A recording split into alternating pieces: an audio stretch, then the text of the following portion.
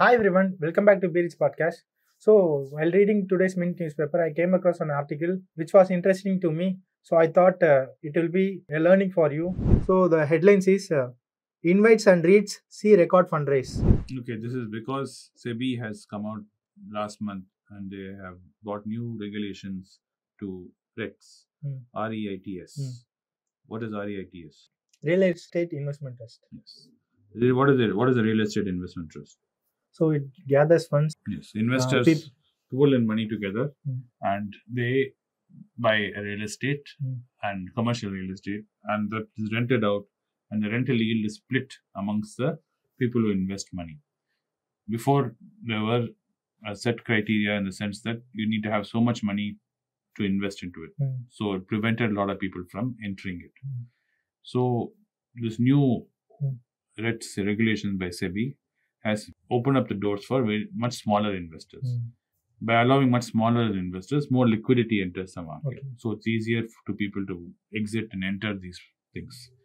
Right? So your fractional investment ticket size has been brought down from minimum of 25 lakhs to 10 lakhs. Hmm. So retail investors and high net worth individuals is easier to enter, invest in high grade commercial real estate. Hmm. Before it was very difficult. Now it's not anymore.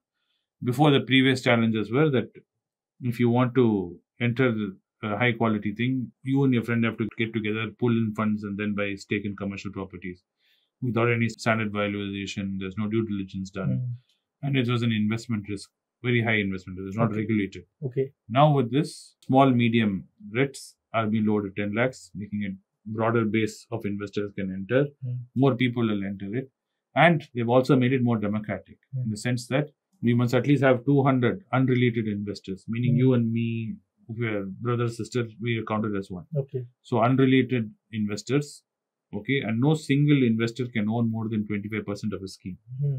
So you cannot get priced out in the sense that if some guy owns 25% or more, he's pretty much, uh, you're all his slave. Hmm. So to prevent that, no guy can own more than 25% of a scheme. So make sure it's democratic structure. Hmm. Then also they have said the asset value, whatever is purchased, must be of 25 to 500 crores. Hmm. That means only good quality assets can be bought.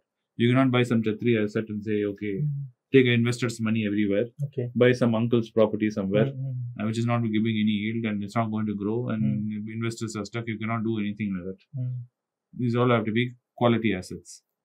And unlike traditional REITs where investment was pooled, SM REITs where investors can also specifically select the assets to invest in. Hmm. So offering you more personalized investment options. Okay. And how do you show pricing transparency? The best way to show pricing transparency in investment is to list it. Hmm.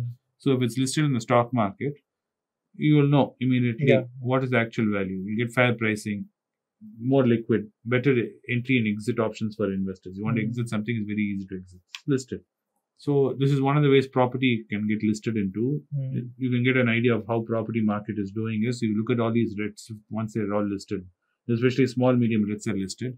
By looking at the analysis of the cost of these REITs and how they've been performing and all that, over a period of time, you can get an idea of real estate itself, Okay. how the real estate Mm. market is doing. And most importantly, you'll get regulatory oversight. Mm. So this new regulations has also said you have to have a fund manager. It has to have a minimum net worth and experience in fund management.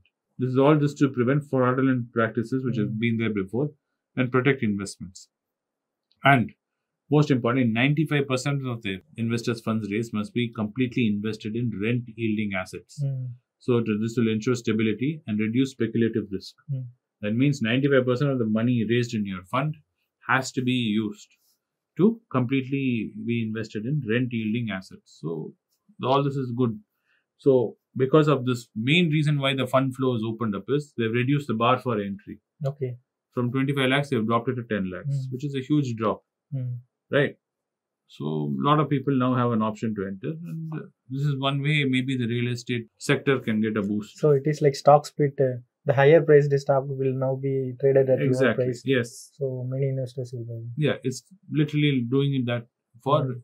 REITs and uh, real estate industry has been in doldrums, especially commercial real estate has been in the doldrums. Mm. So this option allows people who are looking to invest into commercial real estate but find it too expensive, too priced Mm. out, gives them an opportunity to enter that space Mm. with a little money. So how does it differ from buying a property and investing in real estate? Yes, because let's say you want to buy a property in Mount Road, Hmm. right? That property will be worth 500 crores. Like Prestige just bought a tract of land in Bangalore for Okay. 450 crores. You're talking all properties in crores. Hmm. You and me do not have crores. Hmm. How do we enter, get into that, have fun in that game? Uh-huh. This way you can enter. Of course, there's a lot of speculation. Hmm. They're trying to remove the speculation and they're trying to say this is more transparent. Hmm. But there is risk also involved in this. Just because you buy a commercial property doesn't mean it's going to rent out. Hmm. Okay. Correct, you understand. These also have cyclical nature business. You have to do analysis and study and everything and then invest. Just because SEBI has come out lowering the bar and made it more transparent and everything doesn't mean immediately there's no risk in it. Hmm. There is still risk in it. That risk you have to understand. What they've done is they've removed some of the risk. Hmm. Some of the uncertainties have been removed. But there's still a lot of risk in real estate. Okay. This doesn't mean real estate asset as in class, you know, all the problems are Yeah. fixed and now it's going to go Mm. booming and all that. It's not that. You have still have to be cautious. And the people who are running all these funds which you're seeing running are from people who are high net worth individuals. Hmm. Let's say I have already have 10, 15 crores, right? Okay. For me, I need to diversify. Mm. So I can play small bets, put 10, 10 lakhs in Mm. different kind of small bets. And if it, suddenly one of them kicks, you know, it's like doing It will IPO. be a multi-bagger. Yeah, it's a multi-bagger. Yeah. You know, I lose 10 lakhs, 20 lakhs in something, Mm. but I'll make 2 crores and 3 crores in Mm. something else. I can take that risk Hmm. because I have so much of funds. But someone who has only 10 lakhs, Hmm. you definitely cannot be entering this and saying, I'll do enter this space. Should not. So who controls this REIT? Is it a government or a private party? No, no, no. It's like a mutual fund. Hmm. There's Okay. a committee for this and there's a company for this and they'll sit and do all this, Hmm. which has oversight. Hmm. Through SEBI, there'll be oversight. It's not like what a provident fund or anything. Ah. It's not directly run by the government. It's all done privately. So you and your friends can get together and you can create a REIT Hmm. And uh, you know list it and follow all the regulations and put all do all the paperwork and you can start one. So will it impact the price of the PG Invit in the near term? No, PG Invit is completely run on government. Hmm. That is a completely different way that works. Okay. What does PG Invit stand for? Power Grid Investment Trust. Hmm, What do they do? Uh, they invest in the power sources. They invest on hard assets for the power sector. Hmm. That is transmission and all that. And they in turn lease it out to the government. So their model is very different. It's got nothing to do with this. So I thought Invits and PG Invits. in yeah, this is what this is like being a newbie investor. Okay. where you just see Invit and PG Ah, ah, Invit and think all of it. It's like saying dot com. Hmm. You know, I also create one instead of uh, Amazon, I create Amazon. Hmm. I put Amazon.com. Then the sounds is the same. Okay, Hmm. you, cannot be falling for it. That's why analysis is important. Hmm. PG Invit, the reason why we were looking at it was, was a completely different reason. Hmm. And there's a separate video I've done on that. Yeah. And I've written, spoken I'll about it it many yes. I've spoken about it many times, written articles Mm. about it. So the reasoning behind that is very different. And I understand if you've entered PG Invit at a high point, now it's come down. Hmm. PG Invit is completely reliant on interest rate cycles.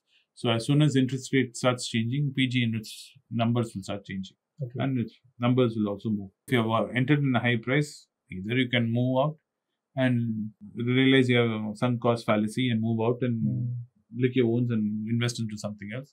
Otherwise, if you have nowhere else to put your money and you don't care about that money right now, you leave it there and see what happens. to it. But that is a different story altogether compared to this what this article Okay. is about. I hope you enjoyed this video and had some learning about uh, Invits and what were the changes that were made by SEBI. So if you like this video, share it with your friends and uh, if you want to see more kind of videos, subscribe to our channel. Thanks for watching.